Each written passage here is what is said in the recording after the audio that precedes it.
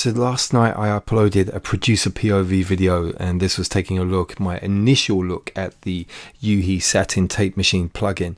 I'd heard a lot of really good chatter on the web about this, so there was an incredibly positive vibe in terms of how this thing sounded.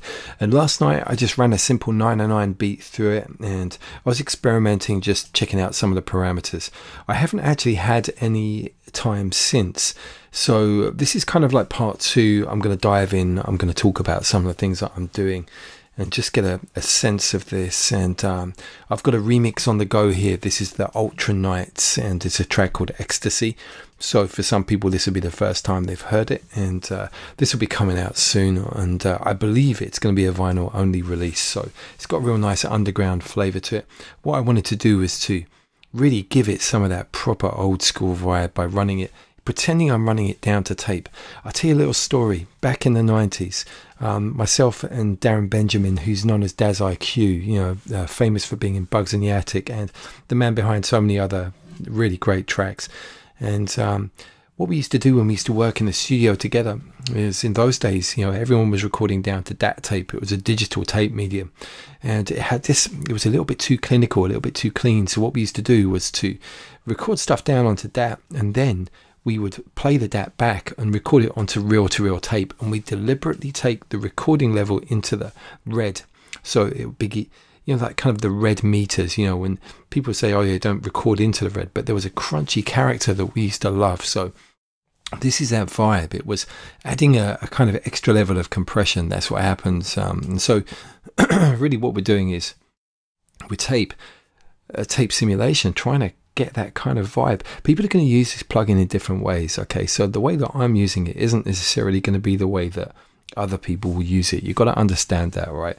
You know, I'm deliberately looking for a certain sound myself. You know, I'm looking for something that sounds a little bit kind of rough and ready, a bit vintage, a bit warm, um, fat, um, all these kind of textures and tones.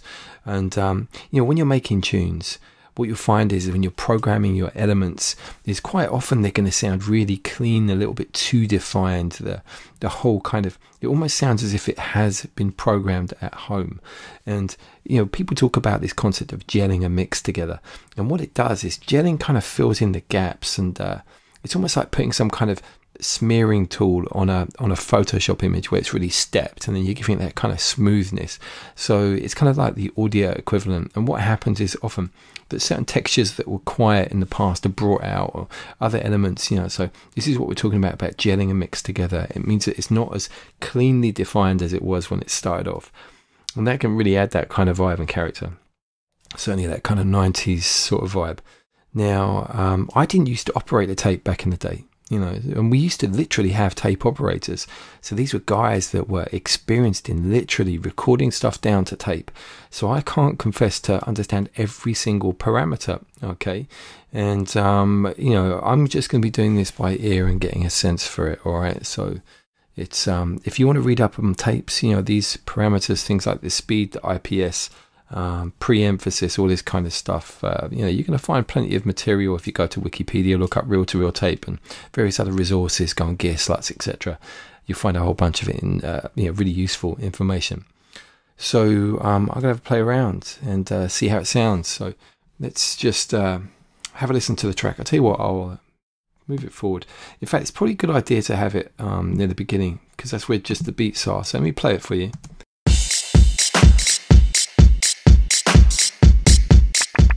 Just going to turn it down a little bit on my side.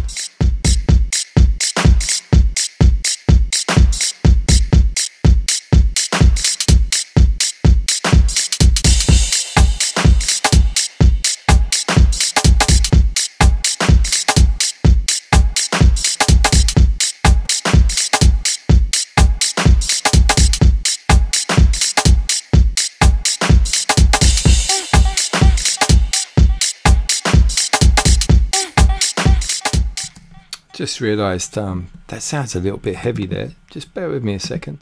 Still finalising some of these uh, elements. I'm just going to drop in an EQ3 and roll off the bass on there. It doesn't need those lows. This needs to be quite thin. That's better.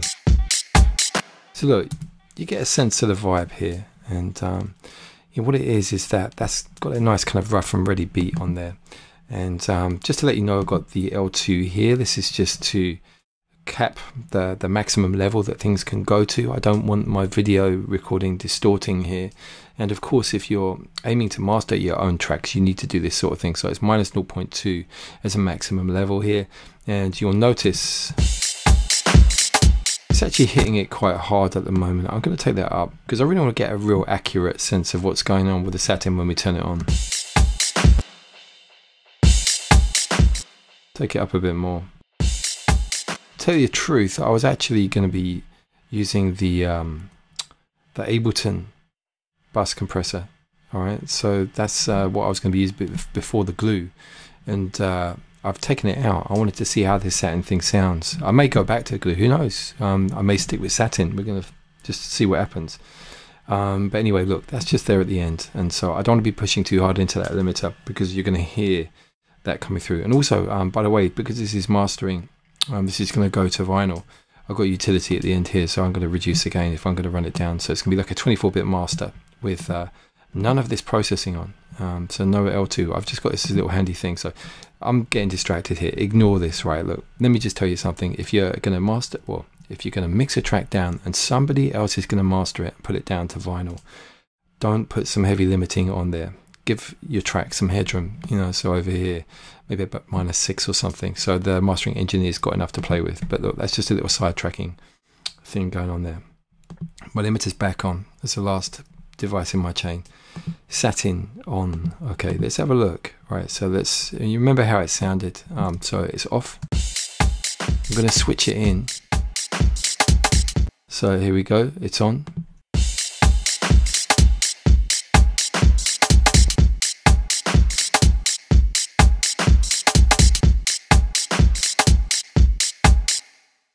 As you can see, I'm not doing anything here other than switching it on, but there is some magic just by switching it on. There's something special going on there. You listen to, um, for me, it was a kick drum. It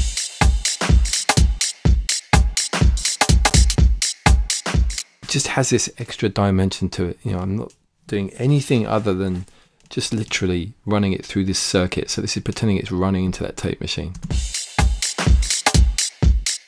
Now what I'm going to do is I'm going to crank it up, alright? Let me just bring that L2 to the foreground so we can just make sure we're not pushing too hard into this.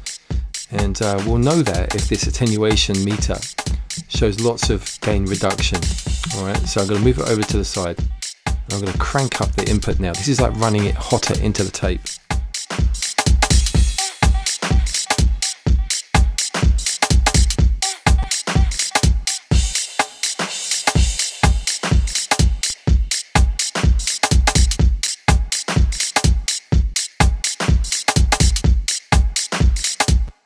Can you feel that extra kind of vibe coming in there? Let me just have a play around here. So I'm going to go for the vintage tape. That's that's overcooked, right? I wanted to show you the exaggerated version, so that's too hot.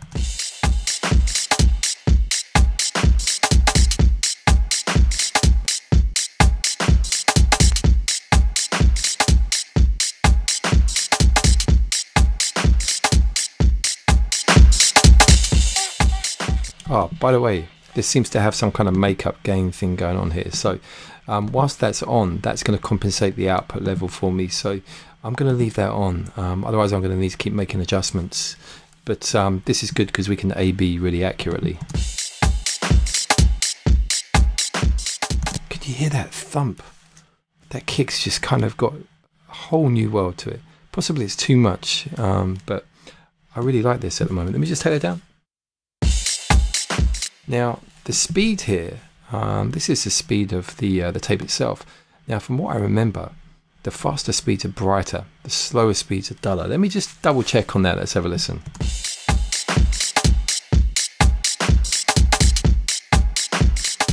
Yeah, you definitely got a sense of the highs being reduced.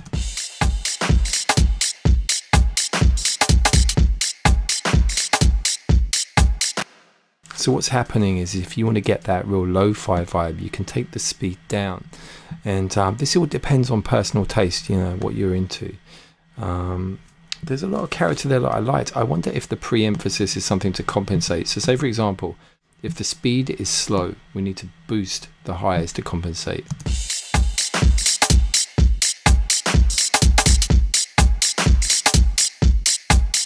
Let me take off the pre-emphasis. Yeah, look at that. There we go. Oh, do you know what? That's like another world.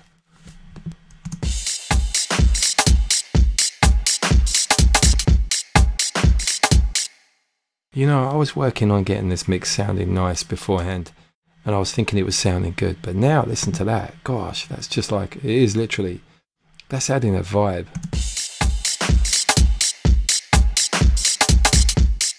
So um, down here, we've got some additional settings. Um, this is probably where I'm going to get a bit lost. Um, wow and Flutter, I think, is some kind of um, kind of that deterioration, maybe in the way that things are playing back maybe the the tape heads and stuff. You know, there's there's probably going to be some people watching this video now who could pass on some expert knowledge in the comments. So that'd be great if you guys do um, understand every single aspect about this. Um, I'm assuming this is going to make it sound a little bit worse, a bit more worn.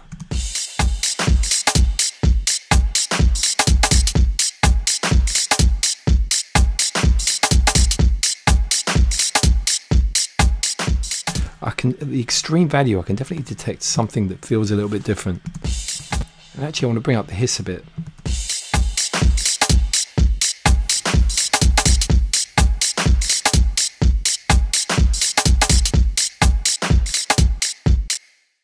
Oh man, when I switch that bypass off, wow, seriously, maybe I'm going too hard with this, maybe I'm pushing too much. I bet you once all the music starts coming in, I'm going to start reaching for some of these and turning them down a bit because um, I really love the character that's coming through here. Um, you guys listening at home, be interesting to see what you think. I'm just checking the levels here. Okay, now this is good. I'll tell you what I want to do. I'm going to keep this here.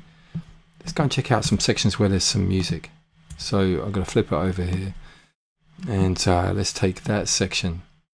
Got a bass, organ and stuff like that. Let's have a listen. I'm going to bring the uh, satin back in and see what's going on. So we're going to bypass, um, turn bypass off so we can hear it. Listen to that noise. Okay, we're going to do before and after. So bypass on, so no satin in the mix.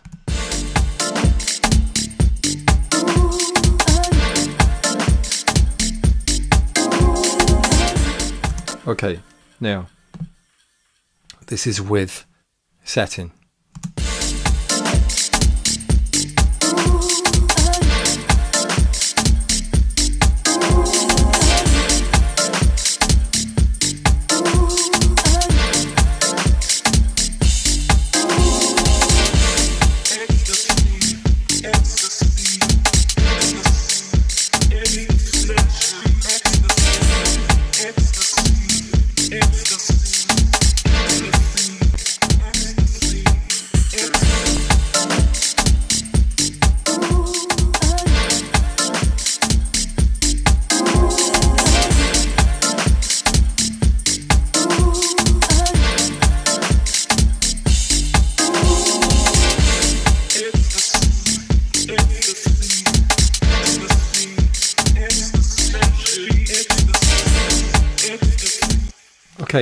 Personally on the headphones that I got here, I'm not hearing that much of a difference. And maybe maybe it's a bit too subtle for me to um, detect. It'd be better for me to be listening properly on uh, proper monitors or my better headphones. These are literally DJ headphones. That's all I could find at the moment. Um, so this section here, um, certainly Wow and Flutter seems to be adding a little bit of interest on there. I really like the hiss actually. It's got a real lot of character to it. Maybe there's too much. Um, let me forward to another section. Um, where there's some music. Let's go over here. Just nudge that forward. Let's have a listen. I'm going to bring it back to the foreground.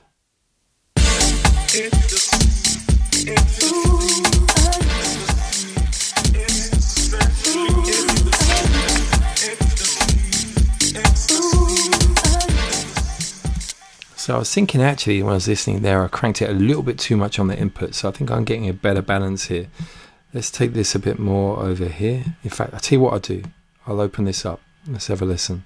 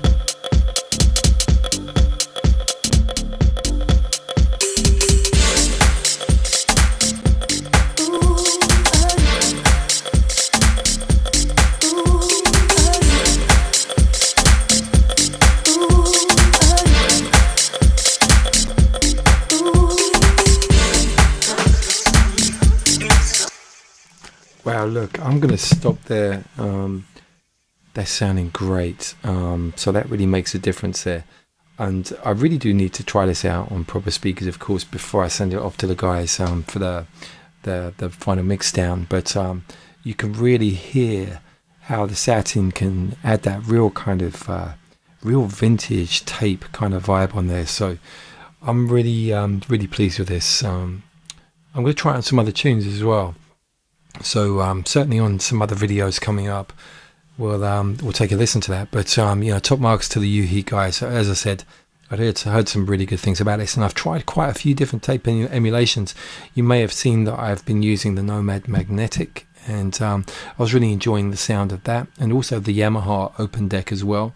Um, but this one, I'm certainly getting a feel that uh, this is going to be part of my uh, kind of regular repertoire if I'm doing those kind of vintage flavors. So yeah, you can really hear that it adds this kind of extra dimension um, to the elements in there. It's got this kind of finalizing thing going on there.